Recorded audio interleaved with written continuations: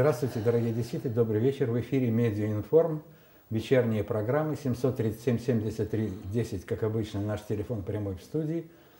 Звоните, задавайте вопросы, говорить будем о том, что происходит у нас в Одессе в политическом плане, поскольку выборы уже начались, тем не менее, мой сегодняшний гость Юрий Дьяченко, который является главой городской организации партии «Демократический альянс», и здесь занимается, сейчас будет говорить с нами о том, что такое организация антикоррупционного офиса. Здравствуйте, Юрий. Очень Здравствуйте. приятно видеть вас на нашей студии. Давайте начнем все-таки с офиса. Офис – это структурное понятие, у вас это вроде бы некая функция. Ну, это общественная организация. Э, мы, ну, конечно, она занимается антикоррупционной деятельностью, это мониторингом, допустим, э, э, заседаний комиссии городского совета, а, допустим, проведенных тендеров, э, допустим, э, насколько качественно были проведены те или иные ремонты. Вот была составлена а, карта, так же само антикоррупционная карта ремонтов, по которой можно, допустим, посмотреть на том или ином объекте, сколько было э, потрачено денег. Можно посмотреть, а много ли людей это смотрят? А... Как вы доводите до сведения общественности вот свои результаты? Ну, естественно, через СМИ, Которые через, вас не любят и не Через публикуют. публикации и через непосредственное общение. Так же самое еще проводятся тренинги, обучение, угу. как и для журналистов, как для а, просто активных Опять же, давайте конкретно. Людей. Сколько тренингов и с кем провели? А, ну, я не глава все-таки этой организации, больше э, Тем представитель. не менее, порядок цифры вам известен?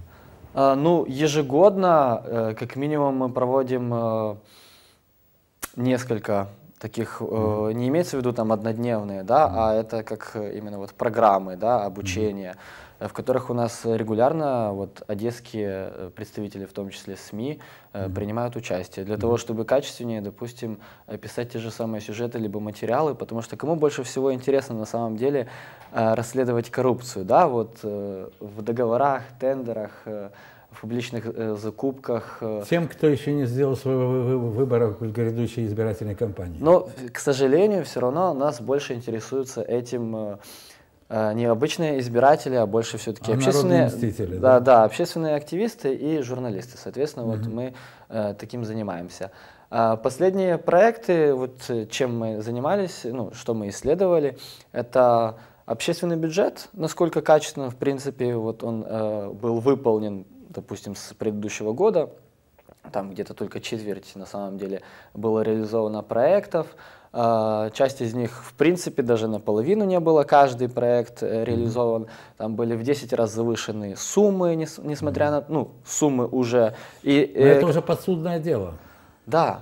А, вопрос в том, что вы знаете, как у нас э, работает правоохранительная система. Ну, догадываюсь. Да, э, но, по крайней мере, мы можем это вынести в публичную плоскость. Смотрите, есть Анатолий Бойко и комитет э, избирателей, который тоже занимается мониторингом активности депутатов, причем депутатов Горсовета и облсовета.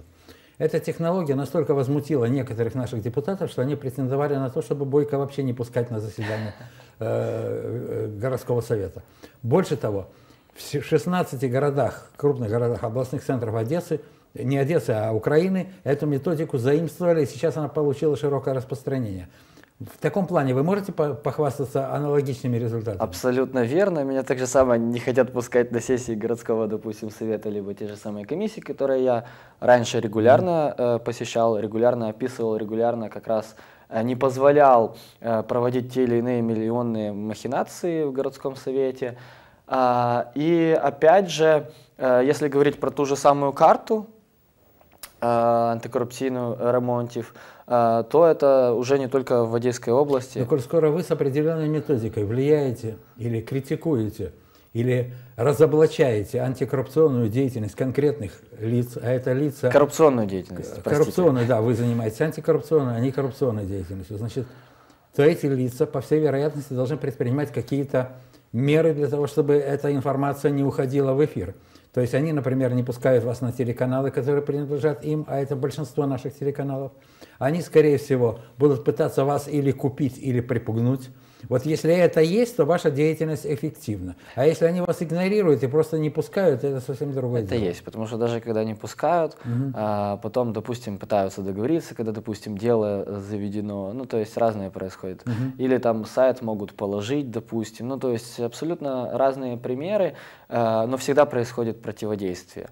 Единственное, что а, мы сейчас все-таки в таком очень насыщенном информационном пространстве находимся, что что-нибудь в принципе утаить э, почти э, невозможно.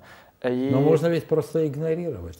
Ну вот, это, наверное, больше всего э, городской власти, допустим, и удается. Но я хочу сейчас э, сказать, что мы уже занимаемся не только ну, проблемами, условно, там, города, да, но вот последний проект э, Э, который я проводил, это мониторинг э, ремонтов, качество mm-hmm. ремонтов и, Ремонт и мониторинг, да, да, да, и мониторинг э, в том числе на коррупционные какие-то риски проведения, да, ремонта дорог у нас по Одесской области. Это в рамках поддержки программы развития ООН происходил этот проект. Mm-hmm. И вот в прошлом месяце поездили, мы где-то э, порядка 40%, 41,3, если быть э, точнее, а, объездили участков, которые уже были сделаны 100%. Ну вот в период с 2016 по 2018 э, года. состояние тех дорог, Да, это государственного значения. И местного значения у нас э, та, которая стопроцентно сделана, и уже даже был дополнительный договор на то, чтобы переделывать эту дорогу, это в районе сел Новоборисовка, Цебриковка, она одна, к сожалению. Ну и все остальные, которые так же самое делаются и в этом году должны быть сданы в эксплуатацию местного значения, э, мы тоже объездили. Почему это важно? Потому что сейчас, до этого была служба автомобильных дорог, которая была заказана заказчиком, да, и контролировал подрядчиков э, на исполнение и э, устранение, в том числе, каких-то недостатков. А сейчас эти полномочия передаются на места. Угу. А, и пока вот это еще не сформировано, и важно обращать внимание э, в первую очередь, почему именно 100% местных дорог, на качество ремонта местных дорог. И, как ни странно, Uh, некоторые участки, которые уже вот-вот должны, допустим, были быть сданы в эксплуатацию, uh, ни подъезд к этой дороге не сделаны, ни найти этот участок, который где-либо, в принципе, ремонтировался, uh, невозможно было. Появились, и качество... появились немыслимые, непривычные для местного начальства суммы денег, которые еще не все распилены. Появились какие-то проекты, под которые можно эти суммы переписывать. А, ну, еще тут, Появились да. новые участники, голодные, жадные, э, агрессивные. Это можно все вообще-то сейчас догадываться. Единственное, что mm-hmm. мы знаем, что по тендерам, которые проводились, и можно вот смотреть по, по Прозоро, где-то 90, не меньше, чем 93% а, имеют, э, нет, даже 96% имеют коррупционные риски. А, вот. А где-то 97% а, в данном случае э, ну, такие, что как вам объяснить, там, допустим, уже все договорено, и только 1,3% экономии. То бишь есть два участника, по факту это можно говорить, э, что возможен сговор между участниками, mm-hmm. вот, которые между собой разыгрывают тендеры. Но с прокуратурой вы на эту тему пытались говорить? А, мы подключаем всех кто mm-hmm. может быть причастен к этим процессам, потому что первоначально мы что сделали? Мы провели анализ э, э, публичных закупок, э, в том числе э, выяснили то, что, ну, допустим, если половина сейчас э, выполняется, там, ну, в принципе, э, никаких изменений не произошло, э, половина э, договоров уже выполнена, э, где-то 9 э, договоров, в принципе, разорвано. Это, кстати, вот э, половина из них это где-то местные дороги местного значения. Mm-hmm. Где-то 15 договоров это очень большая сумма, потому что я говорю, когда половина где-то сделана из, э, это где-то, допустим, 34, да, а вот. Очень а если, а если 15 договоров продолжено, и ты выезжаешь на участок, который, по идее, вот-вот уже должен быть отремонтированный, а, а на самом деле, да, код не валялся и продлевают тендера, то так же самое это э, говорит о коррупционных рисках. Почему? Потому что э, в дальнейшем, когда будут проводиться дополнительные работы, Э, это не было учтено в предыдущей тендерной документации, mm-hmm. и можно еще туда включить э, какие-то суммы, да. Скажите, а в райцентрах не появились случайно большие массивы плиточной застройки? Вот плитки, которые покрывают половину Одессы, понятно, кто их производит и почему ему выгодно их производить. Я думаю, что этот плиточный бизнес в значительной мере должен перекидываться на более-менее знаковые районные центры. Нет, вы не Мы сейчас говорим э, про область. Если говорить про Одессу, мы так же самое исследовали этот момент относительно вот, э, э тротуаров, ремонта mm-hmm. тротуаров, и у нас он где-то в два раза по факту стоимость вот этой самой дешевой э, плитки, которая э, При, старая Одесса. Да-да-да. А, в два раза превышена эта стоимость, и, понятное дело, там свои подрядчики. На самом деле, если говорить про Одессу, если говорить, в принципе, про ремонты, если смотреть на антикоррупционную карту ремонтов, то можно увидеть, э, что там всегда свои подрядчики, что один и тот же объект можно разделить, допустим, там, на 13 объектов, даже там на 85 объектов для того, чтобы, допустим, э, один подрядчик, который свой, по факту получил эти деньги. Но здесь и очень это много вот... юридической возни, очень много всякой казуистики юридической, за которой можно спрятаться. У них ведь опытные юристы Ну, работают. 96% без конкуренции у нас вообще в Одессе угу. именно вот проводится. То есть ребята ремонт. живут непуганными совершенно. Совершенно непуганными. Но если говорить про Одесскую область, если говорить вот про устройство угу. тротуаров, что мы тоже смотрели, э, как раз э, мы обратили внимание, что очень часто в тендерной документации относительно ремонта дорог, то того или иного участка, э, включается в том числе и э, обустройство тротуаров и там остановочных комплексов. А по факту мы можем этого в принципе не наблюдать. Юра, Либо... Вы понимаете, что вы вторгаетесь, вообще говоря, в чужое воровство, причем не мелкое. Вы не конечно, даете людям красть, к чему они привыкли. Вы не боитесь? А, да, если бы не бояться, то надо было как минимум, допустим, еще в 2013 году, когда, вот, кстати, э, поздравляю, вот годовщина Евромайдана, как минимум Одесского, угу. 22 числа. Состоялось а, это действие. Вот, не состоялось это действие, 22 числа нас разгоняли. Угу. И вот э, глава на тот момент Демальянса Алексей Черный тогда тоже был задержан и, и вы были задержаны? Э, нет, нет, нет, я так же само, ну то есть физически препятствовал, Э, ну и там, понятное дело, э, мне тоже наносили физические какие-то повреждения, и, в принципе, нашим палаткам и так далее. Но в итоге задержаны были только Алексей Черный, еще представитель нашей организации Виталий Славик Шкрепляк, да, и Виталий, и Виталий Устименко. Вот. Э, и это были очень знаковые события, потому что вот с этого момента по факту э, начинался Евромайдан в принципе, mm-hmm. потому что в Одессе, вот на, в, в Одессе в при, э, с одной стороны, в других городах тоже, это было, как знаете, как точка отсчета. То есть, То есть насколько нагло, ну, да, насколько нагло, в принципе, себя вела местная власть на тот момент, потому что угу. они э, не могли, не имели законных оснований нас разгонять. А по, а по суду вот, и мы ждали решения этого суда, решили разогнать, и, э, пригнали каких-то коммунальщиков, непонятно кто, в принципе, непонятно куда ушли вещи, которые они там тоже типа по, позабирали. А, но э, просто это знаковое событие, потому что вот с этого, по факту, момента и развернулся всеукраинский Евромайдан. Мы так же само поехали в Киев, Э, там же э, на первом этапе мы тоже организовывали вы Евромайдан. Вы отмечаете как пятилетнюю годовщину как бы торжества демократии? Или, э, я на самом деле не отмечаю, я просто вспомнил, что угу. да, вот дата сегодня знаковая. Но я бы не сказал бы, что вот можно что-то сейчас отмечать. То, что вы надеялись сделать в, декабре, в ноябре 2013 года, сегодня можно считать сбывшимся? В какой-то мере? В какой-то мере мы идем семимильными шагами. Э, но идем вперед. И я хочу сказать, что... или черепашьими? я хочу сказать, что не надо расслабляться. Угу. И вот когда, допустим, тот же самый мой отец, который тоже участвовал в этих событиях, э, молодец, он ежегодно ходит э, по школам, рассказывает про события, там приводит в пример, в том числе и вот чем наша организация занималась, я, угу. насколько имел значение тогда. А, я не считаю, что это да, это для истории важно, но я не считаю, что это а, в принципе как такое, которое вот, ну вот мы тогда достигли и мы молодцы. Нет, сейчас, вот как вы видите, мы, допустим, продолжаем заниматься борьбой и антикоррупционной деятельностью. Сейчас все продолжается. На самом вот деле. Я смотрю, что в Горсовете в Одесском есть депутаты, которые представляют собой второе поколение депутатов. Их отцы были депутатами сколько-то лет тому назад. И сейчас там такая поросль юная выросла депутатов куда более циничных, чем папы, и куда более коррумпированных, чем папы. А... И у вас тоже появилось второе поколение антикоррупционеров, э, коррупционеров, которые тянутся за родителями, которых воспитали для борьбы с коррупцией, да? Получилось так, что ваш а, отец вы... этим занимался, и вы следом за ним. Да, и занимается до сих пор, на самом деле, тоже. Uh-huh. Вот мы, допустим, вместе, я так понимаю, будем э, заниматься э, вопросом летнего театра, потому что он, допустим, не закрытый. Uh-huh. Этот вопрос, э, все равно летний театр, территорию э, городского сада хотят э, застроить, и необходимо подавать иски, вот, э, но грамотные, да, с юристами, и мы вот к этому в том числе готовимся. Понятное дело, не только вот вместе, но и будем подключать, допустим, объединенную политическую платформу, э, то есть все партии, вот, допустим... То есть правовая наши... база у вас подготовлена?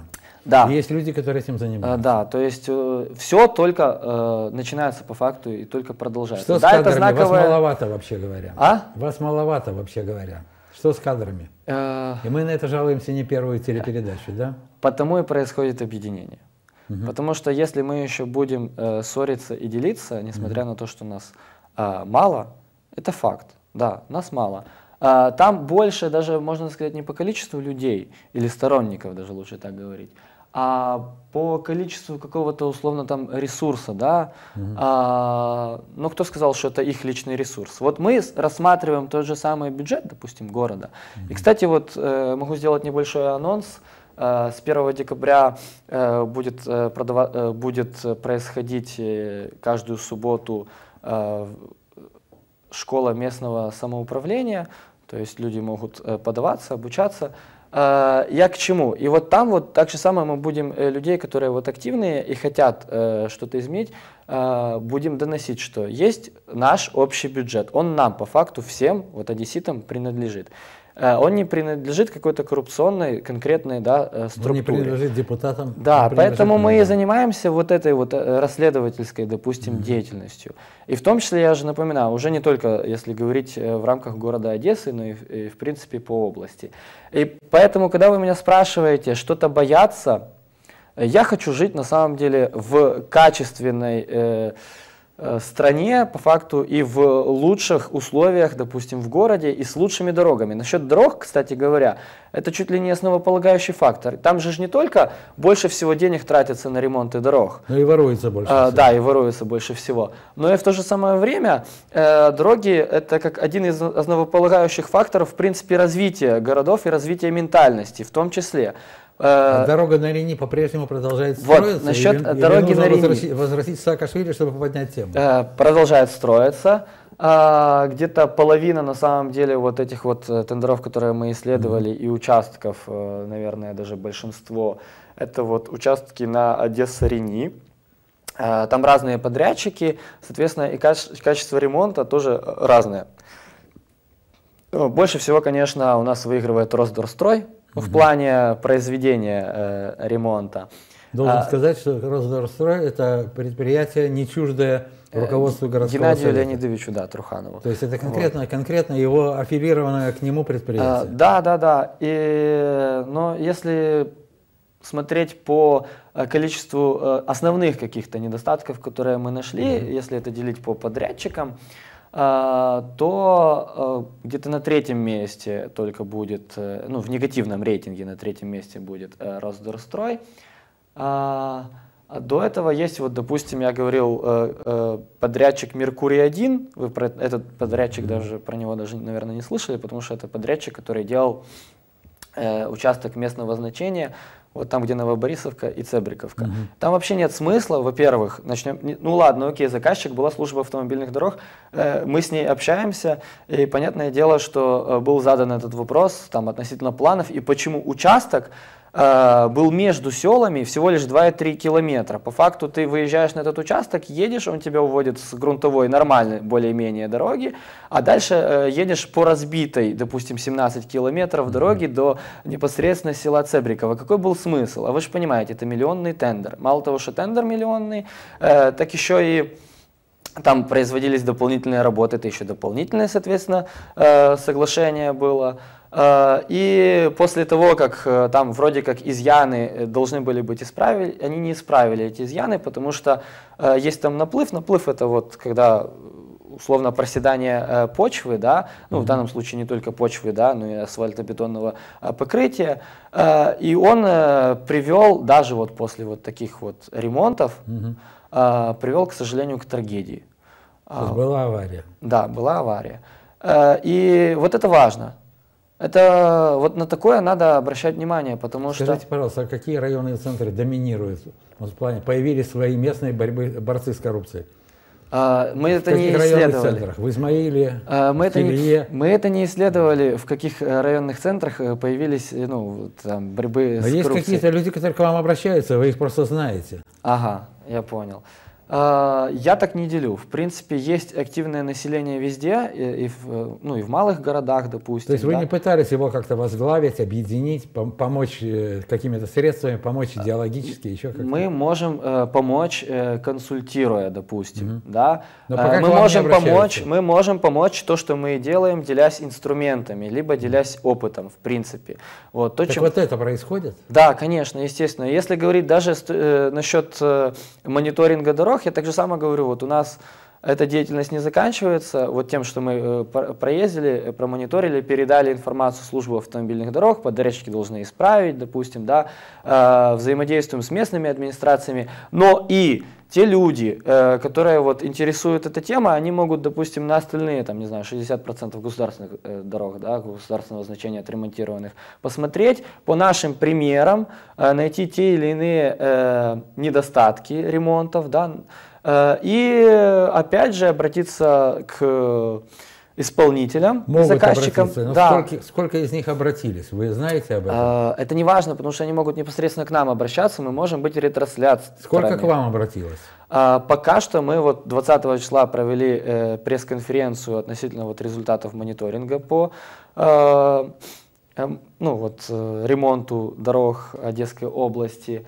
И немного человек к нам Вы знаете, после трагедии с Иваном Русевым я просто понял, что нужно больше заниматься все-таки провинциальными местными советами и постепенно создавать там фронт антикоррупционный.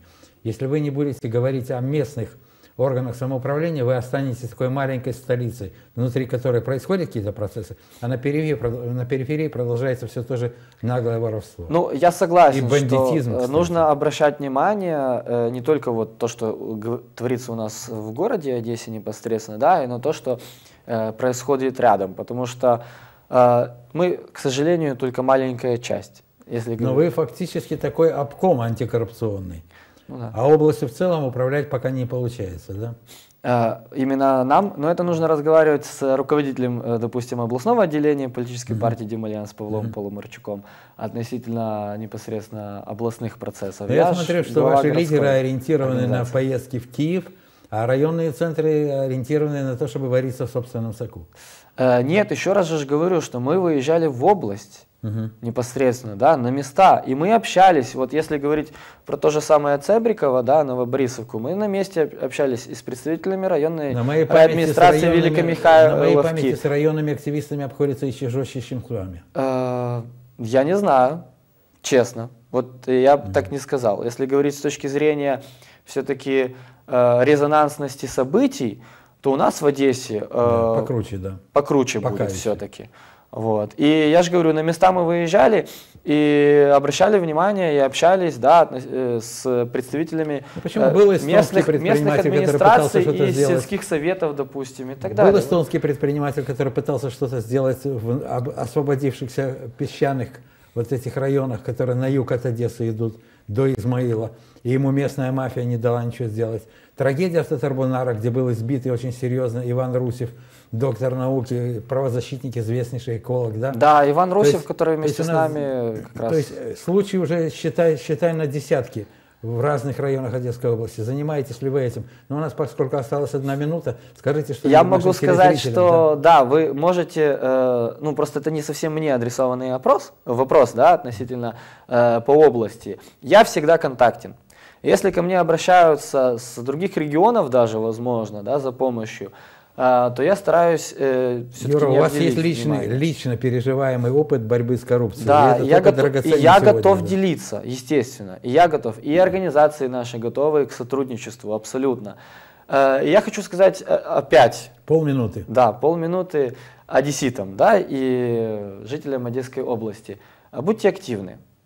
Вы, допустим, можете найти меня в интернете, Юрий Яченко, Димальянс, антикоррупционный офис, э, либо можете ну, в принципе обратиться к подобным организациям, которые занимаются либо антикоррупционной деятельностью, э, либо активны у вас на местах. Э, и старайтесь э, что-то менять, потому что если мы не будем обращать внимание на те или иные проблемы, то у нас, в принципе, ничего не поменяется. Надо заимствовать опыт, надо учиться да. у тех, кто имеет такой опыт. Да, да, да. Вот поэтому я же, я же призываю. И так же самое, если говорить сугубо только про город Одесса, да, мы говорим, что э, общественный бюджет это как один из примеров, да, вот э, разбазаривание, извините меня, денег, но когда вроде бы э, дали одесситам э, принимать решения. Э, все равно есть этот инструмент. Поэтому э, сейчас до 4 декабря есть возможность обратить внимание на те проекты, которые поданы на голосование. Я уже публиковал относительно малых проектов анализ, за которые стоило бы, возможно, голосовать, за которые нет, исходя из того, что там есть, допустим, коррупционные риски. Э, так же самое опубликую относительно э, больших проектов, которые на полтора э, миллиона каждый информацию. Интересуйтесь, голосуйте, потому что все-таки вот важно ваше участие. Уважаемые телезрители, у нас в гостях был Юрий Дьяченко, который занимается организацией антикоррупционного офиса, руководитель городской организации партии Дем Альянс. Спасибо, приходите еще с позитивными новостями. Всего доброго, до свидания.